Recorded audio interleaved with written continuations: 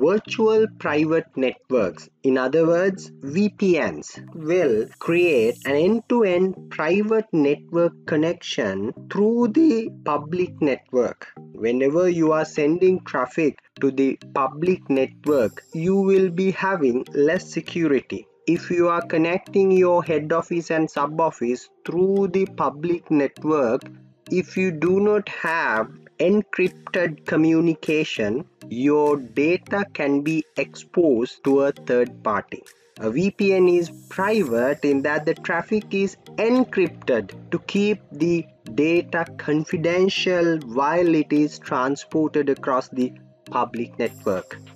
We can get many benefits out of this technology. We can reduce the cost to connect multiple sites through VPNs by uh, spending less amount of money comparing to the point-to-point lease network connectivities which you can be bought through service providers.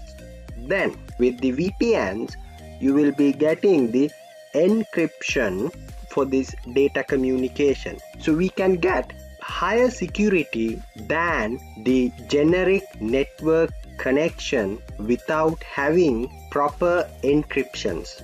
The third benefit is scalability.